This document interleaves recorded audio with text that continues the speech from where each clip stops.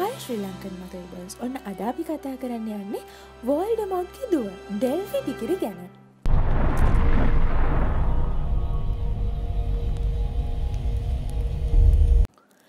ඩෙල්ෆිනී ඩිකිරි එහමත් නැත්තම් ඩෙල්ෆි අපිට curse child එකේ හම්බෙන චරිතයක්. මුලින්ම කියන්න ඕනේ කර්ස්ටයිල් කියන්නේ වේදිකා නාට්‍ය ස්ක්‍රිප් එකක්. ඒ ගැන මං ඉදිරියේදී වෙනම වීඩියෝ එකක් කරන්න. හැබැයි මේ පොත කියවන හෝ කියවන්න ඉන්න කෙනෙක්ට ස්පොයිල් ඇලට් එකක් දෙන්න වෙනවා. ඉතිං මං කිව්වා වගේ අපි දන්නවා ඩෙල්ෆිගේ තාත්ත කවුද කියලා. ඒ වෝල්ඩ මොට්නේ ඒත් අම්ම කවුද? ඒ තමයි අපි හැමෝම දන්න බෙලට්‍රික්ස් ලෙස් ට්‍රේන්ච් එක්දස් නමසය අනුහතේ වෝල්ඩමෝට් මැල්ෆෝයි මැන එක ජීවත්තෙද්දි. ජුනි සැප්තැම්බර් කාලේ තමයි ඩෙල්ෆි පිළිසිඳ ගන්න ඇත්තේ කියලා කට්ටිය අනුමාන කරනවා. බෙලට්‍රික්ස්ගේ සහෝතරියක් වන නාසිසා සහ ලුසියස්ට තමයි මේ වෙදි මැනයක අයිති වෙලා තිබ්බේ. ඉතිං බෙලට්‍රික්ස් හරි සතුට වුණ තමන්ගේ තැනක වෝල්ඩමෝට් තියාගන්න පුළුවන්වීම ගැන. හරිම ලෝයල්ලුණු බෙලට්‍රික්ස්ට වෝල්ඩමෝඩ්ගේ අවධානයත් හොඳින් ලැබුණා. බේල්ට්‍රික්ස්ගේ ස්වාමිපුරුෂයා උන රොඩල්ෆස් ලෙස්ට්‍රේන්ස්ටත් වඩා ලෙංගතුකමක් ඇය වෝල්ඩ මෝට්ටමුලින් දම්ම දැක්වා. වෝල්ඩමෝට්න තමන්ගේ අනි අනුගාමිකයන්ට වඩා බෙලිට්‍රික්ස්ව කොච්චර විශ්වාස කලාද කියනවනම් වෝල්ඩමෝඩ්ගේ එක හෝක්‍රොක්ස් එකක් බෙලිට්‍රික්ස්ගේ පවුලට අයත් ග්‍රින්ගොඩ් සේප්පුව කරන් තිබ්බා. කර්ස්ටයිල්් පොතට අනුව එක්දස් නමසය අනුවටේ අප්‍රේල් හෝ මැයි කාලේ ෆයිනල් බැටල් එකට ටික්කට කලින් ඩෙල්ෆිනි ඉපදුනා. බැටල් of හොක්වෝඩ්ස් නිසා දෙමවපියන් අහිමියුණු බව ඩෙල්ෆි දැනගෙන හිටියත්. ඒ කෞද කියලයා දැනගෙන හිටිය නෑ. ඩෙල්ෆිව බලාගත්තේ යුෆීමියා රවුල් කියන ඩෙත් ඊට කෙනෙක්. ඩෙත් ඊට පවුලකින් ආවත්. ඩෙල්ෆි බලාගන්න මෙයා කැමති වුණේ එයාට නිතරම මේකෙන් සල්ලි ලැබෙන නිසා. හැබැයි සල්ලි එව්වේ කවුද කියලා හොයන්න මෙයා උනන්දුනේ නැහැ. ඩෙල්ෆි පොඩිකාලේ ඉඳලම යුෆීමියා ඔගරි වර්ගේ කුළුල්ලෙක් ඇති කරා. වැහිලිහිනියෝ වැස්සට පෙර අහසට යනවා වගේ මේ කුරුල්ල වැස්ස ඇති අඩනවා. විසනිං වර්ල් දෙකේ මතයක් තියෙනවා උන් අඩන්නේ මරණය දැකලා කියලා. මේ නිසාම යුෆීමියා කිව්වා එයාගේ කුරුල්ල අඩන්නේ ඩෙල්ෆිගේ අවසානය දැකලා කියලා. තරුණ වියත් එක්කම ඩෙල්ෆිනි තමන්ගේ කඩවසම් තාත්තගේ ජාන එක්ක රූමත් තරුණයක් වුණා. ඩෙල්ෆිගේ කැපී පෙනෙනම අංගය වනේ එයාගේ නිල් පාට අගිස්සක් ඇති රිදී පාට කොණ්ඩය. ඉස්කෝලෙකට යන්න බැරිවුණු නිසා යාළුවන් නැතිව කොංගුණු ඩෙල්ෆිනි හිතින් යාළුවෝ මවාගෙන හිටියා. තමන්ගේ අම්ම තාත්ත කවුද කියලා දන්නේ නැති වුණත් එයාලා මැරුණේ බැටල් of හොග්වෝඩ්ස් වලදි කියලා නම් එයා දැනගෙන හිටියා. ඇස්කබාන් වලින් නිදහස්සුණු බෙල්ට්‍රික්ස්ගේ සැමිය පස්ස කාලෙකදී ඩෙල්ෆිට තමන්ගේ අම්ම තාත්ත කවුද කියලා කියනවා. ඒ එක්කම දයිවේ ගැන ලියලා තිබුණු ප්‍රොෆසි එකක් ගැන කියනවා. අම්මතර කට්ටිය අමතරව තියාගෙන. කාලය නැවත හරවාගෙන නොදුටු දරුවන් ඔවුන්ගේ තාත්තලාව මැරුවමයි ඩාක් ලෝඩ් නැවතත් එන්නේ. මේ කැහුවට පස්සේ ඩෙල්ෆි තමන්ගේ තාත්තා ගැන ගොඩක් පොත් කියවලා හැම්මදේම දැනගත්තා.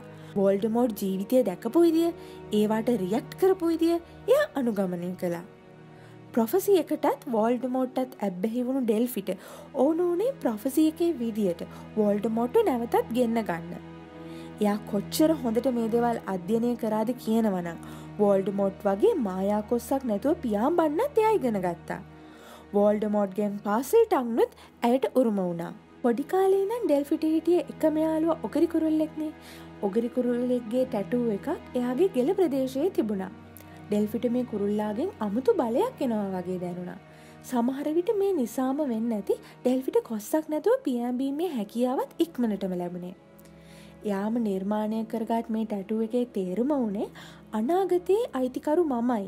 එහි නිර්මාතෘ මමයි කියන එක. අවුරුදු ගානක් තිස්සේ ප්‍රොෆසි එකේ ප්‍රහෙලිකාව පුරෝපු ඩෙල්ෆි හොයාගත්ත ගොබ්ලෙට් ෆය එකේදී. සෙඩ්රික් ඩිගිරිව මරන්න වෝල්ඩමෝට් අන කළේ අමතර කෙනාව මරන්න කියලා බව. ඒකට පළවෙනි කියමන ගැලපුණා.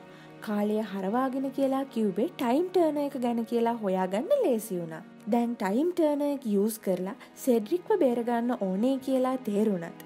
තුන්වෙනි වැකිය තේරුම් ගන්න අපහසු වුණා.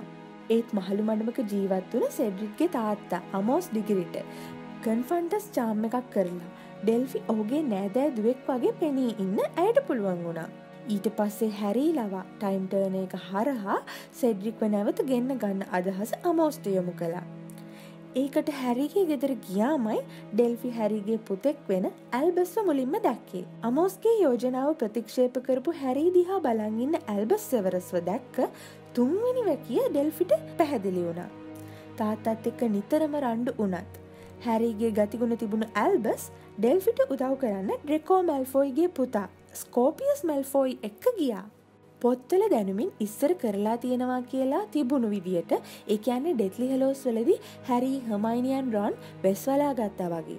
ඩෙල්ෆි හමයිනි විදියටත් ස්කෝපියස් රොන් විදියටත් ඇල්බස් හැරි විදියටත් වෙස්වලාගෙන මිනිස්ට්‍රිය of මැජික් එකට ගියා. කෙලින්ම හමයිනිගේ ඔෆිස් එකට ගියපු තුන් දෙනාට මූනටම මුණ ගැහුණේ ඇත්ත හමයිනි සහ හැරී පොටව. ඒත් ඇල්බස් එයාලව බේරගත්තා. හොමයිනිගේ පොත්‍රාකයේ හංගලා තිබුණු ටයිම්ටර්න එක ගන්න නම් ප්‍රහෙලිකාවක් පුරවන්න ඕනුනා. ස්කෝපියස් එක විසඳලා ටයිම්ටර්න එක ගත්තා. සෙඩ්රික් ඩ්‍රයිවිස ටූනමන්ට් එකින් දිනන එක ඇල්බසා ස්කෝපියස් අතීතයට ගිහින් නවත්තනවා. ඩෙල්ෆි වර්තමානයෙන්ම රැඳිල හිටියා. ඒත් නැවත වර්තමානයට එද්දී හැරීව වෝල්ඩමොට් මරල තිබ්බා. ඒ වෙද්දි විසිඩිං වර්ල්ඩක පාලනය කරන්න ඔගරි කියලා කෙනෙක් වෝල්ඩමොට්ට උදව් කරා. හැරි නැති ලෝකේ ඇල්බස් ඉන්න විදියක් නෑනේ ඒක නවත්තන්න ස්කෝපිය සෙඩ්රික් මැරෙන්න්න ඕන බව තේරුම් ගත්තා. ආයෙත් වර්තමාන කාලයේදී ඩෙල්ෆිව මුණගැහුණු ඇල්බස් සහ ස්කෝපියස් ඩෙල්ෆිටි කියනවා ඇගේ ඥාති සහෝදරයා වන සෙඩ්රික් ඩිගිරිව බේරගන්න විදියක් නෑ කියලා. මේ අතර ඩෙල්ෆිගේ බෙල්ලේ පිටිපස තිබුණු ටැටුව එක දැක්කපු දෙන්නට තේරුණා අර වෝල්ඩමොට් උදව්කරපු ඔගරි කියන කෙනා ඩෙල්ෆි ඩිගිරි කියලා. එවෙලෙම ඩෙල්ෆිට විරුද්ධ වෙන ඇල්බ සහ ස්කෝපියස්ව ඩෙල්ෆිනි ෂණිකවම ඩිස්සාම් කරලා වොන්් එකෙන් ගැටගහගත්තා. ඇල්බස් සහ ස්කෝපියස්ගේ සද්දට එතනට ක්‍රෙක් බෝක කියලා ළම එක්කාවා. ඩෙල්ෆි දෙපාරක් නොහිතා කිලින්කර්ස්තකින් ඔහුව මැරුවා. ඊට පස්සේ එයා හංගපු ඇත්ත කතාවම හෙළි කලා. ඒත් අතීතය වෝල්ඩමෝඩ් පාලනය කළොත් මොකද වෙන්නේ කියලා දැකපු ඇල්බසා ස්කෝපියස් තමන් මැරුණත් ඩෙල්ෆිට උදව් කරන්නේ නැති බව කිව්වා. ප්‍රොෆසි එකක තියෙන දෙයක් මිදින්න හැකියාව තියෙන බව හිතලා ඇල්බස් සැනසුනා. මේක තේරුණු ඩෙල්ෆි කාලය හරහා බොයිස්ල දෙන්නත් එක්ක ගිහින් එක්දස් නමසය අසූ එකකි වෝල්ඩමෝඩ් පොටර්ස් ලව මරපු දවසට ගියා. ඊට පස ටයිම්ටර්න එක කඩල අතුරු දහන් වුණා. ඇල්බස් සහස්කෝපියස් මේ කාලයේ හිර වුණා. ඩෙල්ෆිට ඕන වනේ වෝල්ඩමෝට් පොටර්ස් ලගේ ගෙදරට යනක නවත්තන්න. මොකද එහෙම කළොත් වෝල්ඩමෝට් විනාස නොවෙන නිසා. එයා වෝල්ඩමෝට් පසුපස චර්ච් එකකට ගිහින් පාසල් ටංවලින් කතා කරලා පියමලා පෙන්නවා. මොකද ඒකින් තමන්ගේ තාත්තව ඉම්ප්‍රෙස් කරගන්න පුළුවන් නිසා. ඊට පස්සේ වෙන්න යන දේ ගැන අනතුරුවන්ගෙව්වා ඒත් එක පාරටම වෝල්ඩමෝඩ්ගේ කොන්්ඩයක් මතුවෙන්න පටන් අරන් ඒ හැරී බවට පත් වුණා. තමන් මෙච්චර වෙලා කතා කරලා තියෙන්නේ හැරීබ බව තේරුණාම. දෙන්න අතර ස්පෙල් හුවමාරුවක් වෙලා ඩෙල්ෆි හැරීව ඩිස් ආම් කරා. හැරි ගැන ගොඩක් රිසර්ච් කරලා තිබුණු එක ඩෙල්ෆිට වාසියක් වුණා. බිම රූටන් යන හැරීට මීයෙක් කියලා ඩෙල්ෆි අපහස කරා. එතනට ආපු ඇල්බස්ට කිලිංකර්ස් එකක් යොමු කළත් හැරි පැනලා ඇල්බස්ව ඩෙල්ෆිගෙන් බේරගත්තා. ඩෙල්ෆි වහලා තිබුණු දොරවල් Albus කැඩුවම Ginny Hermione Draco Ron and Scorpius එතනට ආවා. ඇවිත් ඩෙල්ෆිපස් පෙල් එකකින් කන්ට්‍රෝල් කරගත්තා. ඩෙල්ෆි කෑ ගැහුවා. එයාට එකම එක වතාවක් තමන්ගේ තාත්තව බලන්න දෙන්න කියලා. එකම එක වතාවක් වෝල්ඩ මෝට් මුණගැහෙන්න දෙන්න කියලා. ඒත් කවුරුත් ඒකට එකඟ උනේ නෑ අන්තිමට ඩෙල්ෆි මිනි මැරුම් චෝදනා මත ඇස්කබාන් වලට නම්මුණා ඩෙල්ෆි ඩිගිරි සල්සා සිලිදරින්ගේ අන්තිම උරුමක්කාරය වුණා. ඉතිං ඔයාලා මේ විඩියකට කැමති නම් ලයික් බට්න එක ප්‍රෙස් කරන්න.